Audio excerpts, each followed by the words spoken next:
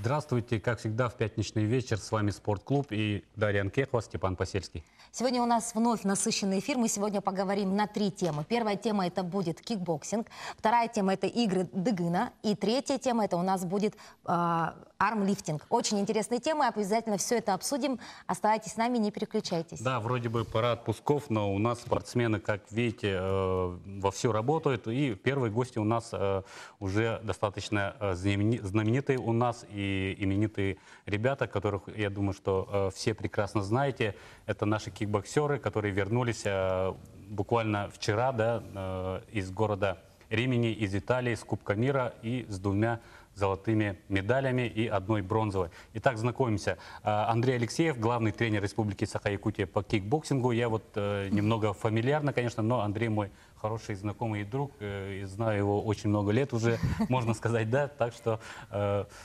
далее у нас э, э, Ди- Вадим Колтовской, обладатель Кубка мира, э, золотая медаль. Николай Винокуров, он же с бронзовой медалью приехал из Италии. И Виталий Филиппов, э, тоже обладатель Кубка мира. Добрый вечер. Добрый вечер. Добрый вечер. Ну, Андрей, вы не впервые у нас в студии, мы не впервые поднимаем тему именно кикбоксинга. И, конечно, первый вопрос. Ну, вначале поздравления. Примите поздравления, наверное, не только от нас, но от всей республики. Ребята показали себя очень хорошо. Но и вопрос к вам, как главному тренеру. Ожидали ли вы такой результат и оправдали ли надежды ваши спортсмены? Во-первых, спасибо большое вам всем нашим э, Болельщикам. Да, болельщикам. Ага. Ну, я после чемпионата России э, в мае месяце в Калининграде сразу вот ребятам Вадиму и Виталию поставил цель поехать на Кубок мира, выиграть. А э, Коля Винокуров э, на том чемпионате стал чемпионом России.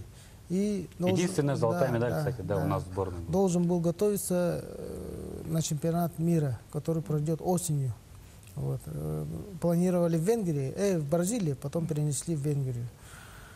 Вот. Но э, в последний момент э, из Москвы э, нам сказали, чтобы Винокурова тоже на Кубок мира взяли. И последний момент его взяли тоже. И троих ребят я повез. Ну, можно сказать, э, они, ребята оправдали полностью все мои ожидания. Вадим и Виталий стали чемпионами. Вот. Но Коля э, стал бронзовым призером. Но он, как я понимаю, э, не был полностью готов, наверное, Да, к вот- соревнованиям, потому что... как бы, Готовился да, готовился. Да, после чемпионата России он График другой да, немного расслабился. Я ему дал время отдохнуть, и как, как бы спад пошел. А потом резко не успели э, заново, Набрать кондицию, за- да? заново набрать форму. Вот так, э, скажем. Да, ребята, еще раз поздравляем, конечно, Вадим. э, Ты у нас уже, я не знаю, сколько, сколько у тебя медалей, сколько кубков, но вот такая- такой кубок, я думаю, что украсит э, любую полку любого спортсмена, да? Доволен ли ты э, своим результатом, выступлением, с кем бился? Насколько уверен был вообще в своих Сколько силах, боев провел, да? Спасибо большое. Ну, такой реально кубок у меня впервые, такой красивый. Ну, как сказал Андрей Васильевич, мы начали сразу готовиться после чемпионата России сильно. А, Там провел три боя всего. Первый бой боксировал с французом, и последующие бои были хозяева этих соревнований. То есть Итальянцы, итальянцы были, да. В финале я выиграл уверенно своего, своего оппонента. После первого раунда он уже отказался со мной боксировать, видать. Не знаю. То А это, это в финале? Да, это в финале было. Уверенная победа. Да. А что так- касаемо... Молодцы. Молодец. А что касаемо Николая? А, я провел два боя. Первый бой а, с грузинским боксером, и второй бой а, был у меня с итальянцем. Ну, предпочтение, наверное, хозяев, хозяева ринга. Да, Ну, судейским решением, в общем, да, да? судейским решением. Ну, с- э, сам го- э, доволен вот э, этим результатом? Или все-таки хотел золото? Хотел золото. Какой Да, спортсмен не хочет и- золота? Да, но тем не менее, ну, бронзовая медаль тоже неплохой результат, в принципе, да? Но На таких соревнованиях, да? А у Виталия какие бои были? Я провел три боя. Первый бой был с груз- с грузинским спортсменом. Второй бой а, поляк, третий это Француз. фра- француз. То есть финал, да? это, финале да, француз. Ну, достаточно представительный, да, как мы видим, да, много стран было. Вообще, расскажите, пожалуйста, про турнир, да, сколько стран-участниц, сколько участников было, и вообще, Вообще, насколько... э, Какая хар- публика да. была, много ли людей? Да, очень много участников, э, около двух тысяч было. Это э, по всем разделам кикбоксинга проводился кубок. Ну, вы с- Да, один из по- самых жестких да, э, разделов, как я понимаю, фулл, фулл-контакт с лоу-киком, да? Это ринговые разделы, три ринговых раздела, э, фулл-контакт, фулл-контакт с лоу-киком и К1. Вот три ринговых раздела. Остальные э, на татами проводятся. Это лайт-контакт, семи-контакт, э, кик-лайт, сольные композиции. Ну, более такой- Очень много разделов, очень много весовых категорий. И- и из-за этого слишком, ну не слишком, а очень много участников, как праздник. Настоящий фестиваль Да, кикбоксинга, да? Ага. И, есть- и там взрослые, юниоры, младшие юниоры, три возраста еще. Ну и, конечно, про зрелищность здесь, наверное, и обсуждать не надо, да? Да, ну, чел- очень так, эмоционально насыщенные соревнования. Да. Человек, если, если по-честному, устает. А, а ребята, у вас какие впечатления остались от Римени, от прекрасной Италии? Э, Что-нибудь удалось посмотреть? э, Впечатления какие остались? Ну да, я давно мечтал съездить в Италию. Ну, особенно в Риме побывать. Как раз нами это получилось. Съездить в Рим после соревнований. Через Рим, да, ехали? Не, Не, с Римини После до Рима. соревнований после соревнований. съездили. На экскурсии. На один день. Ну, город реально красивый там. Ну а вообще вот в плане ваших соперников, ну вы же только как бы соперники-то во время только ваших боев, а помимо этого, вот как вы общались, как вы проводили время, А, возможно, может быть, обзавелись новыми знакомствами? Ну, во-первых, я за ребят скажу, это, во-первых, самая трудность это для всех спортсменов это сгонка веса. Борьба с самим собой, борьба э, с весом. Вот. Они делали вес, там, самое там сложное. соблазнов очень много. На улицу выходишь, везде еда, везде пицца, везде это, ага, и Паста, да? да. Ну, после соревнований, Да, наверное, да, да. Очень трудно было им вот это преодолеть. Ага. Ну, Да. бла- благо климат жаркий, и ну, вес гонять так более-менее. неплохо, да? Да. А скажите, пожалуйста, вот, извини, пожалуйста, да, Даша, я вот смотрю, с, э, ваши ребята с вами уже на протяжении, протяжении многих лет, да, под э, вашим руководством уже добиваются вот больших результатов. Э, вот э, хотел э, у вас спросить, как у вас дела вообще? Чем занимаетесь? Я вот э, вас знаю уже, знаю еще со студенческих лет, да, вот, а сейчас вы закончили университет, да, работаете. Да, вообще, Чем в какой занимаетесь? сфере работаете? Ну, я закончил учебу средней специальности, это торгово-экономический колледж на профессию технолог общественного питания. Ну, в данное время сейчас чисто в спорте нахожусь. Будущий шеф. Шеф-повар будущий. Шеф-повар, да? В данное время работник ШВСМ, считаюсь спортсмен-инструктор. То есть Ну, все-таки полностью спорт в у тебя спорте сейчас. стал ос- основой жизни, А вот да? любишь готовить, да? Да, конечно. Какой уникальный человек, да? И побоксировать может, и кушать приготовить, да? А Итальянскую кухню этого узнавал между делом. Набирался опыта, да? А Николай, Вкусно? у вас Он Ну, как Вадим сказал, он для нас готовит. Когда мы э, на соревнованиях, э, он сам тоже нам готовит. Так- Также Андрей. Васильевич готовит. Мы все вместе готовим. Ну, Я закончил э, ну, первый э, свое, первое свое образование, это сельхозтехникум, специальность государственное муниципальное управление. Сейчас э, в данный момент работаю в Министерстве внутренних дел Республики Саха-Якутия. Саха-Якутия. А, закончил ЕГСХ, юридический факультет. Целых два, два образования, да? Да. Ну Это вот мы ломаем тебя как- стереотипы о том, что Да. боксеры у нас такие достаточно неинтеллектуальные люди, Ко- да? Ну, Коля, я знаю, как очень целеустремленного человека, Два который... высших образования Да, человека, да? Наконец ты выиграл э, золото России, чему я был действительно очень рад. И очень надеюсь, что ты сможешь поехать на чемпионат мира и достойно себя покажешь. А Виталий? Я закончил вот, а, Институт физической культуры и спорта. Пять лет и э, дополнительно два года магистратуру закончил. А Виталий, я, знаю, я знаю, ты пришел из бокса, да, в кикбоксинг. Вот э, как это у тебя получилось? Вот насколько это безболезненный такой переход был, да?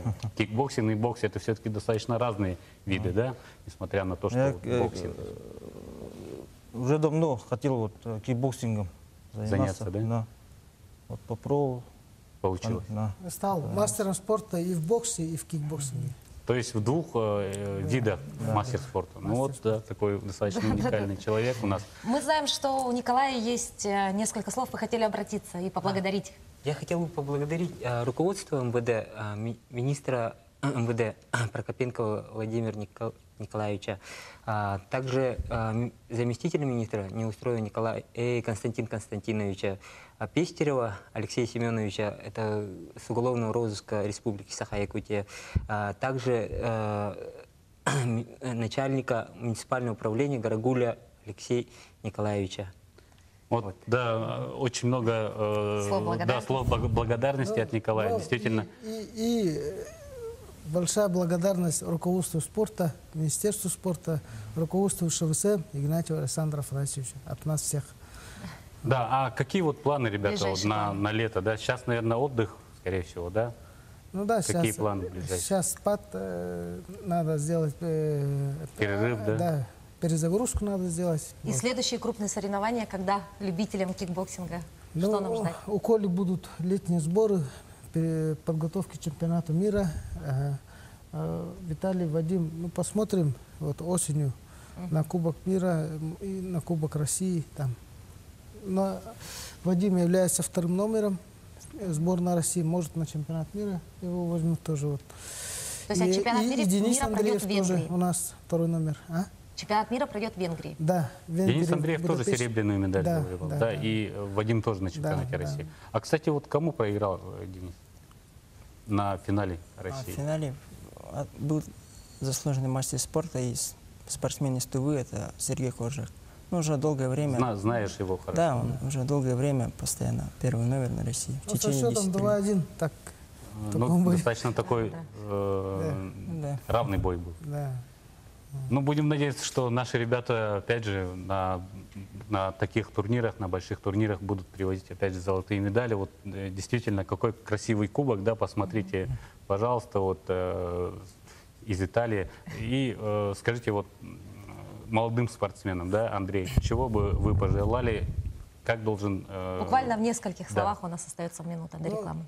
И вот э, кикбоксинг и не только кикбоксинг, вот все единоборства, это я считаю как инструмент воспитания настоящего мужчины, мужского характера, бойцовского духа, который нам, всем мужчинам, э, в жизни очень нужен.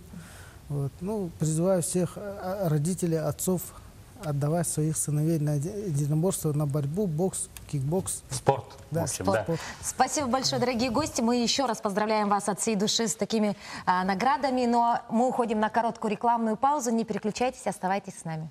Да, через пару минут мы вернемся.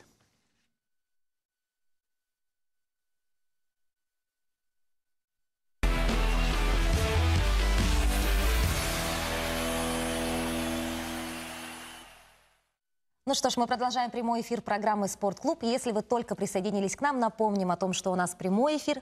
И мы в первом блоке поговорили с вами о Кубке мира по кикбоксингу. А второй блок мы посвящаем предстоящим, долгожданным и, возможно, самым любимым играм игры Дыгына. Да, действительно, игры Дыгына уже э, стартуют уже завтра, э, и НВК Саха будет э, впервые в истории показывать эти э, крупнейшие соревнования, этот крупнейший турнир в прямом эфире. Не пропустите. Э, завтра э, прямой эфир э, наших соревнований э, начнется в 18.00, ну а э, в воскресенье в 12.00. Не пропустите. Ну и сейчас э, у нас гости, но перед тем, как с ними вас познакомить, э, давайте посмотрим сюжет.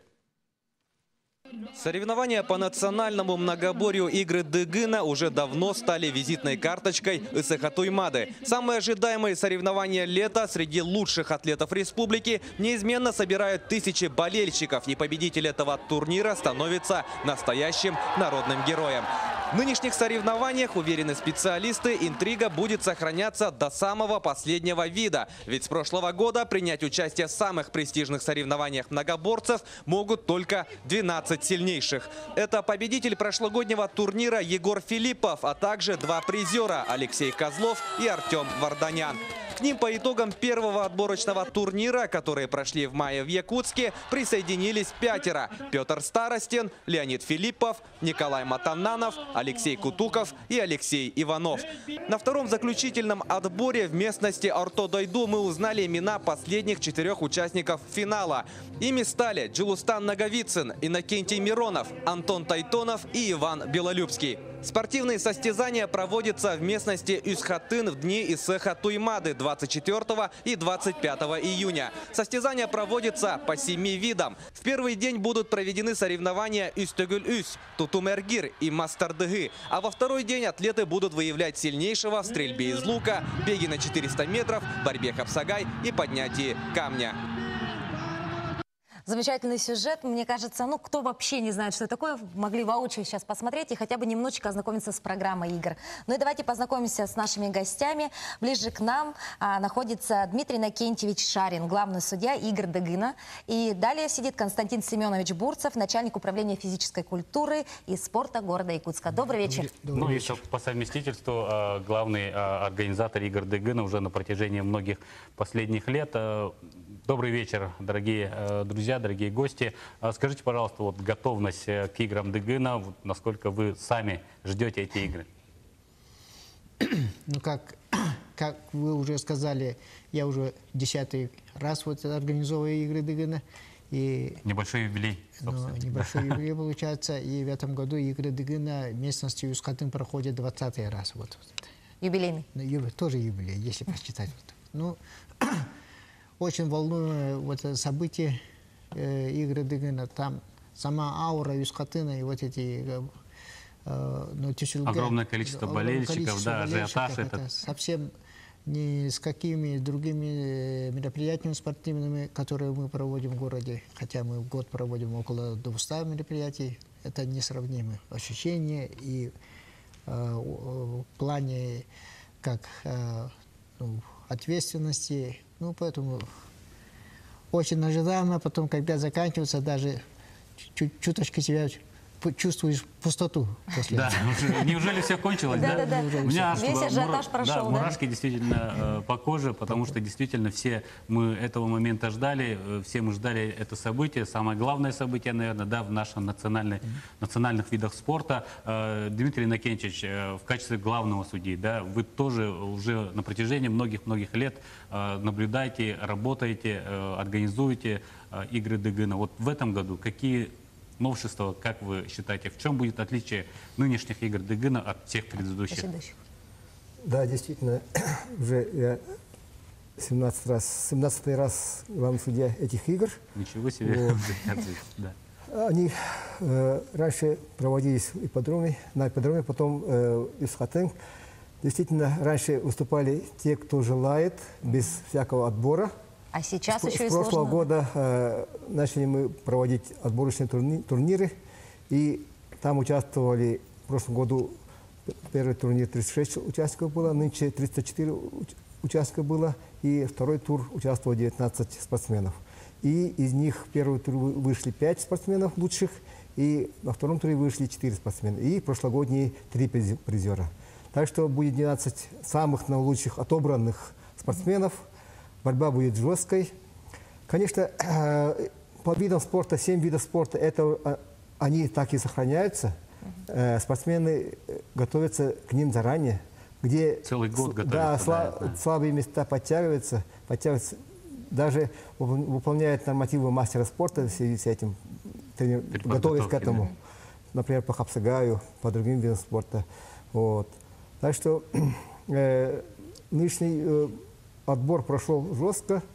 Ребята все готовились заранее. Есть тренеры, которые готовят их э, к этому специально. Например, Снанцев Юрий Эверстов. Здесь Иван Белюевский готовит не- несколько парней. Так что будет очень жесткая борьба. Да, ну, Ну, для Ивана Белолюбского мы в прошлом году с ним обсуждали. Во-первых, он не только участник, он также и тренер. То есть Тренер, его, ж- да. его же ученики участвуют на одном уровне вместе со своим тренером, да? Вот у нас тогда вопрос. 12 атлетов, в принципе, да, фаворитов как таковых здесь нет. А вот ваше личное мнение, будут ли какие-то открытия и ждать ли нам каких-то сюрпризов именно от э, спортсменов? Ну, как уже сказано, по, после двух отборочных туров, ну, кроме призера прошлого года, попали те ребята, 9 спортсменов попали. Но новые имена тут тоже есть. Это Иннокентий Миронов, Леонид Да. Иннокентий Миронов действительно уже настоящее открытие, мне кажется. Настоящее да, и открытие. Мне кажется, Один из фаворитов, ну, если не в этом году, то в ближайших годах я точно. считаю, это будущая звезда игр ДГ. Если все нормально, трав никаких не будет, но очень большое будущее у молодого парня. И Леонид Филиппов в Тоже, этом да. году попал э, к- к- в финальную часть. Это тоже э, э, спортсмен показывает, что Да, спортсмен- Иннокентий Миронов из Алекминска, э, Леонид Филиппов из Амги, из да, Амги. очень сильные атлеты, действительно. Николай Матананов тот же. Никол- Николай Матананов, Из ну, Татинского вуза, да. он в прошлом году выступал в финале, ну, чуточку, будем считать, Ну, что опыта оп- чуть-чуть не хватило, конечно. опытнее, чем вот эти наши Ну, ребята молодые. на э, отборочных играх он себя показал самый лучший. скажем Самые так. лучшие страны. Ну, То да, есть- очень хорошо участвовал, подготовленный. Э, Кстати, надо сказать, что 10 из, из из 12 спортсменов э, уже выступали на играх Дагына, двое новичков, но всякое может. Это спорт, это и спорт, так что То есть заранее есть- предугадать, кто будет чемпионом, победителем этих, этих соревнований, нельзя, конечно. Да, Но- тем и хорош, да, э, тем и Тем хороши хороши игры Дегына, потому да. что не знаешь, что произойдет, да? Да, да, да. А что по поводу судейского состава? А, вообще, сколько человек задействованы, Да, насколько вообще, насколько... э, опытные и квалифицированы Да. судьи? У нас в основном, ну, судья, главного судью, знаете прекрасно, э, главный секретарь э, тоже у нас известен постоянный человек, это Гаврил Семенович Попов, Мигрокангаласский район. А судьи старшие по видам, ну, чуть- чуть-чуть у нас по видам меняется. Вот. Э, Те судьи, которые работали, например, в прошлом году, бывает заняты сейчас. В этом году очень много по связи с юбилейной спартакиадой Манчары люди заняты, там готовятся. Но все равно, будут старшими судьями работать опытные судьи и помогать. И наша задача где-то вот года три назад мы решили сделать судейскую бригаду Игорь Тыгина компактной. Все, чтобы главное старший судья и судья, например, на ковре и на помосте, вот эти, э, главное они, а по- ну, как вспомогательная бригада, это все вот эти судьи, которые Все судят, будем- э, ну, все будем, все э, вместе судят. Да, а, конечно, вот старшие по видам спорта, они люди опытные, и надеюсь, что будет все объективно суде- э, в сторону судейства будет, я надеюсь, что будет все хорошо. Ну, а у меня следующий вопрос. Многие болельщики и вообще фанаты игр Дегына, наверное, переживают про призовой фонд. А что нас ждет Да. в этом году и а, главный приз какой? Помимо, конечно, славы, да, и любви э, многих Народной фанатов, любви, да. народной любви и славы, ну, все-таки здесь есть и... Все равно, ну, кроме славы, любви народа, еще вот все равно материальное э, стимулирование должно быть. Поэтому Конечно, в да. этом году победитель Игорь Дегена получит э, Hyundai Solaris автомобиль. Новенький тоже. автомобиль. Но, и за второе место э, мотоцикл но тоже иностранного производства, но очень хороший мотоцикл. И за третье место такой же мотоцикл, но куб- кубом Чуть-чуть поменьше, да? чуть поменьше. Ну, Ну, то есть есть за что побороться, да? И каждый вид победитель, каждого вида. Раньше у нас такого не было. Каждый победитель, чемпион По, по по, по по отдельно- видам, по, да? позициям. отдельно- по отдельным видам победитель получит 15 тысяч. Э, Вот это приз предоставляет нам спонсор, это торговый дом «Эмпельс». Потом за второе место 10 тысяч. Это тоже нам помогли компания «Цикл». Это наградная атрибутика занимаются ребята. И за третье место э, «Мир спорта», магазин по 5 тысяч тоже. Ну, Ну, поэтому... мне кажется, это тоже Ну, призы достаточно. Прекрасно, спортсмены пустыми не, Не уйдут, да. уйдут Ка- всё равно. Каждый получит свой маленький, но все-таки такой хороший И- приз, да? И медали у нас именно для игр, э, игр э, для ОСЭХа и Для, для кажд- игр. для каждого вида, да? Отдельные медали есть, не как вот оригинальные, например, продаются. Если- Да. А У меня еще один вопрос. У нас осталось буквально немного времени до рекламы. И вот ваше личное мнение. В чем вот популярность и в чем вот э, именно а, изюминка вот этих игр Дегына? Почему они настолько прижились у нас? И Да, вот это Почему прям... болельщикам надо завтра обязательно и послезавтра перейти на Исхаты и поболеть за наших спортсменов? Нет. Мне кажется, вот последние годы, э, благодаря вот и, и спортсменам, и болельщикам, и нам, организаторам, вот тут похвастаемся чуток. Ну, мы э, довели вот э, виды спорта, все вот это до, можно сказать, до такого уровня, что на- народу очень нравится это. Там тут и все физические качества. Я не устаю повторять человека. Это скорость, выносливость, гибкость, ловкость. Все Сила. Есть. Сила, все есть. И последний это сила воли только Сила остается. характера, Сила, сила воли, характера. да. Вот это решает. Поэтому все ребята одинаково подготовлены и решают вот этот. Да, еще раз подчеркнем, что в этом году э, игры Дегына действительно будут э, одними из самых конкурентных. Да? Э, В этом году у нас были выявлены сильнейшие на двух отборочных этапах и три призера прошлого года, да, Егор Филиппов, а, Алексей Козлов. и два Ар- Варданян и э, Козлов, да, Козлов Алексей? Алексей. Ну что ж, и напомнить необходимо нашим дорогим телезрителям о том, что НВК Саха будет вещать, вещать игры Дагына в прямом эфире. Обязательно. Поэтому, если у вас нет возможности посетить местность Усть-Хатын, обязательно посмотрите это на наших каналах. Ну что ж, спасибо большое, дорогие гости. Мы желаем удачи спортсменам, также вам удачи и надеемся, что игры пройдут а, на самом высшем уровне. Ну, как всегда, да. Ожидаем всех. Спасибо большое, да. Свидания. Ну а мы сейчас уходим на короткую рекламную паузу. Оставайтесь с нами.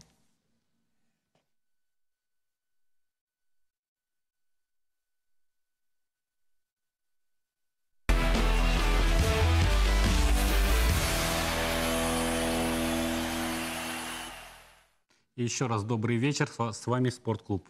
Ну что ж, мы продолжаем наш эфир, и сегодня у нас в гостях есть человек, который у нас является единственным в республике мастером спорта международного класса по армлифтингу. Он эту корочку получил буквально недавно, и мы решили пригласить его в студию, чтобы он рассказал о своем опыте. Давайте знакомиться. У нас сегодня в студии Игорь Кандаков. Здравствуйте, Игорь.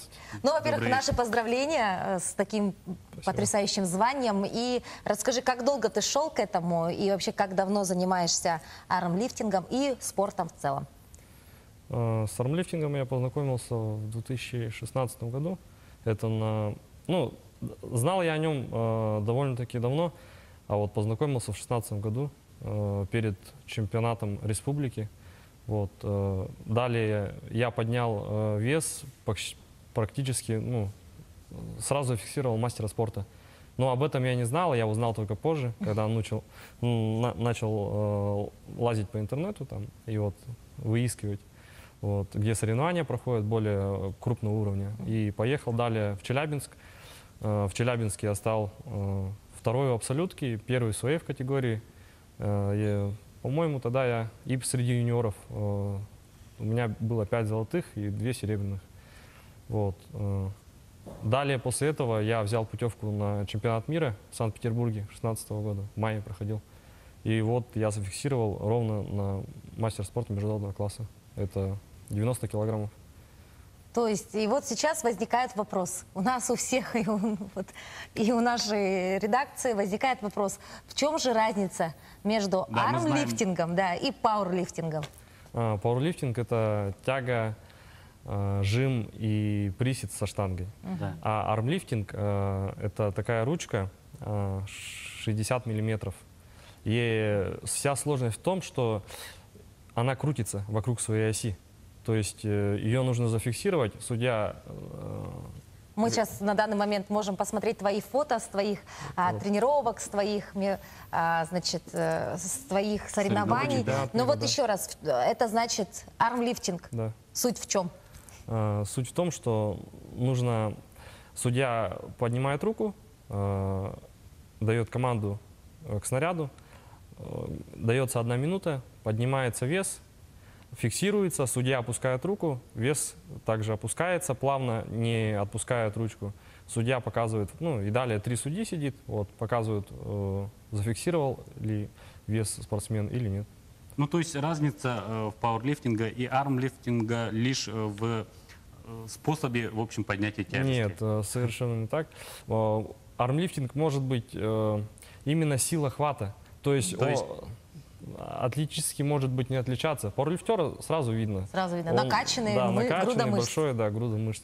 А именно внутренняя сила, именно жила, сила, сила хвата. Там буквально на 10 сантиметров приподнять вес и за- зафиксировать. Просто сложность в том, что удержать его нужно. Именно сила хвата. Вот. Очень интересно. А вообще до армлифтинга чем ты занимался? Ну, навряд ли Да, ты вот ты буквально пришел, 16 да. года и получил такие результаты. Все-таки да, да, ты с да. какого-то же вида спорта пришел? Э, Именно база была масс-рестлинга. Э, База, вот именно там тренируется сила хвата.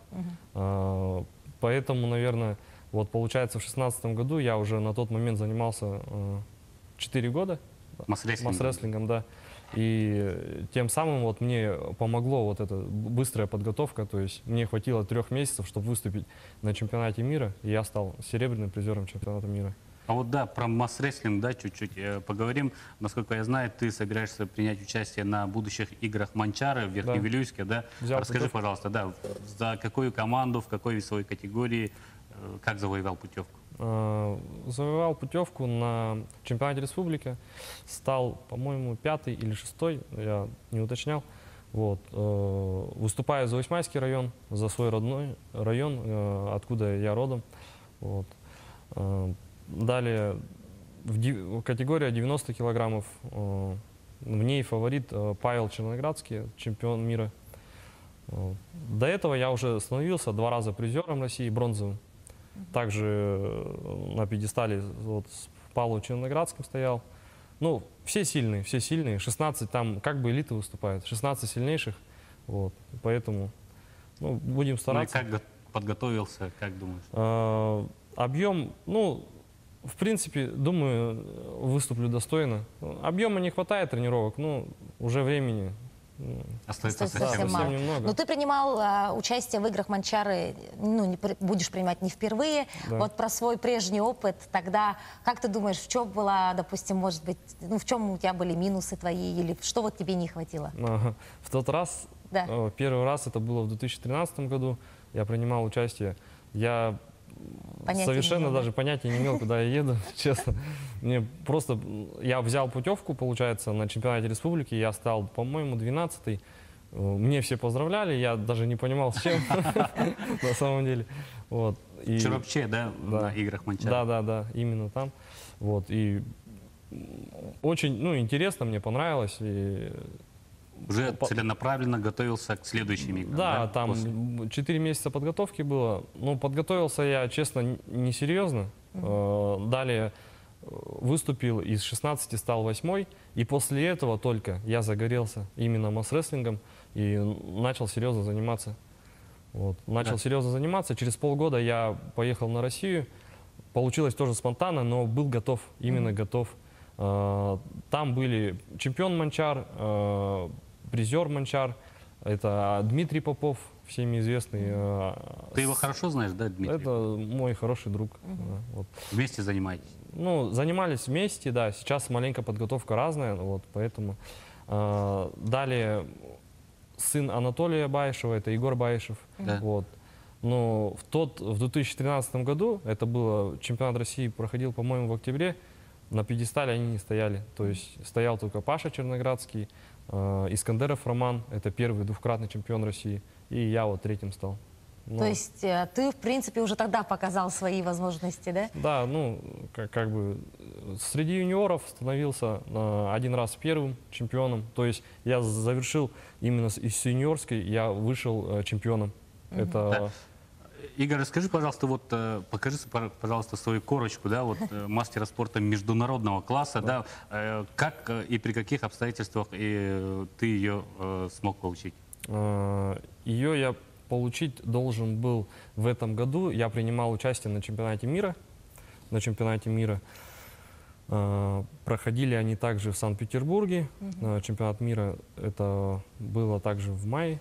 Но в, дан, в этом году я стал только четвертый. Ну, А вот, да, э, скажи, пожалуйста, Игорь, как ты думаешь, вот э, человек э, со школы масс-рестлинга, да, перетягивания палки, да, сможет ли э, хорошего уровня масс-рестлер поехать и стать одним из призеров на больших соревнованиях по армлифтингу, как тебе кажется? Думаю, да, если будет целенаправленно именно. Вот э, отмечу Дмитрия Попова, который вот была буквально фотография недавно, да, показывали. А, Там мы стоим вместе с ним с медалями. Вот, а, он тогда стал вторым в абсолютке. То есть он поднял меньше меня на, по-моему, это было перед чемпионатом мира в 2016 году. Он по- поднял меньше меня на 5 килограмм. Всего, да? Всего, да, на 5 килограмм. То есть, если прям заняться серьезно, я думаю, у таких ребят, как он, э, получится зайти в тройку. Игорь, ну ты можешь рассказывать о своих победах и о своих медалях, мне кажется, на протяжении всего эфира. А у меня возник такой вопрос. Вот а, одно дело получать медали, завоевывать, да, различные, а, там, значит, ну, первые, там, призовые, вторые места, да, а другое дело стать мастером спорта международного класса. Вот что для тебя это звание, какие двери перед тобой открылись, или, возможно, а, вот именно что тебе Да просто, какие планы у тебя, да? да, дает вот этот мастер спорта международного Ну, класса? Планы, планы так таковые. Это, это в первую очередь память. Вот э, одно дело на слове, а одно вот оно вот есть и вот. э, Я это сделал, да? да, в первую очередь, естественно, это я оставлю для своих детей, чтобы они гордились, вот смотрели э, и чтобы они тянулись к чему-то хорошему. Ну то есть не именно занимались ерундой, а именно вот э, был примером для своих детей. Э, Дети же это наше главное ну, в жизни, как бы. Ну и тогда расскажи человека. вообще про себя, да, вот из какой ты семьи, ну помимо того, что мы узнали, что ты с Усмайского а, района, чем ты занимаешься, вот, допустим, в свободное время? Все ли время у тебя уходит на спорт или, возможно, у тебя есть еще другое образование? Да, ну сейчас в данный момент я нахожусь в училище Олимпийского резерва, ну именно как студент. Вот. Из простой семьи. э, у ну, все- мама одна, воспитывала двоих детей. Вот. э, За очень, что очень ей благодарен за это. Вот, что справлялась с нами. А Игорь, а сколько у тебя э, времени занимает спорт в, э, в день? Да, вот смотрю, такой, скажем, достаточно накачанный, хорошо подготовленный человек. да, Да. Сколько у тебя времени занимает тренировки э, каждый день? Тренировки, тренировки, ну, наверное, как минимум, если э, я не готовлюсь ни, никаким соревнованиям, Соревнованиям, да. три раза в неделю. А если э, готов, ну, сейчас я дейс- действующий спортсмен, четыре раза, пять раз в неделю тренируюсь. я. Э, помимо этого, э, также тренирую э, в клубе «Спарта», как персональный тренер. Вот, э, тем самым я провожу время в зале Постоянно. практически постоянно, да, и не выходя. Игорь, ну а у меня возникл такой еще один вопрос. Вот какая у тебя мечта? Вот мечта спортсмена Игоря Кондакова. Мечта, мечта. Ну, так мечта, ну, всегда в голове крутилась с детства на пьедестал Олимпийских игр, естественно, но я выбрал не тот вид спорта, да. Вот. э, В этом году я хочу попробовать себя в греко-римской борьбе. Э, Совсем скоро, после игр Манчар, мы уезжаем на сборы, э, по-моему, в Чурапчу, насколько я знаю, это вот Матвей Матвей Мочус, э, старший тренер.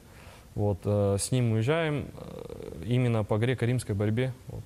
Да, Игорь. Планы у да. тебя замечательные. Мы желаем тебе удачи и, конечно же, достижения всех поставленных целей. Спасибо большое, Игорь. Ты являешься, мне кажется, примером для многих ребят и подрастающего поколения. Ну а на этом время нашего эфира, к сожалению, подходит к концу. Не прощаемся. Увидимся в это же время, в следующую пятницу. Да, ровно через неделю. Всего, Всего доброго. хорошего.